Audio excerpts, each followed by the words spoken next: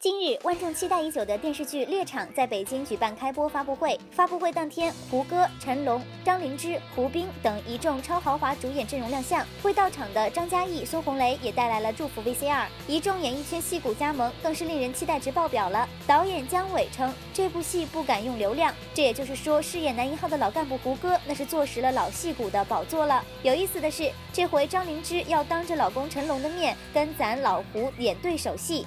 那还真是纠结。不过为了自证清白的胡歌，不惜实力坑友。我跟他是单相思嘛，我觉得我是，那你是有对我有感觉的吗？你回答我呀。